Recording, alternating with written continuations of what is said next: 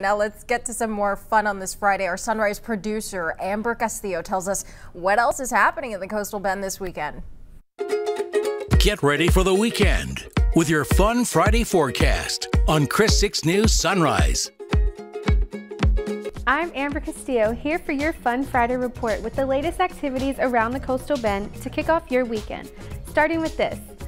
Coco is hitting the big screen at Whataburger Field for CC Movie Night tonight. The movie will kick off at 7 p.m. and the best part, it's free.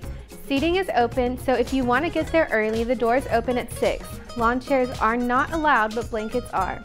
And if you're looking to hear some live music, CJ Simmons will hit the stage at Brewster Street Ice House Southside for a free acoustic show tonight at 8.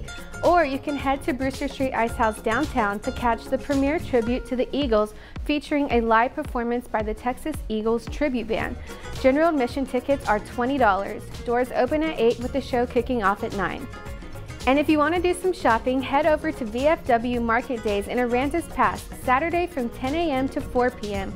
This indoor market and outdoor market will feature antiques, jewelry, pottery, desserts, and food trucks. Admission is free. Boo in the Blue returns to the Texas State Aquarium Saturday and Sunday from 11 to 4 p.m.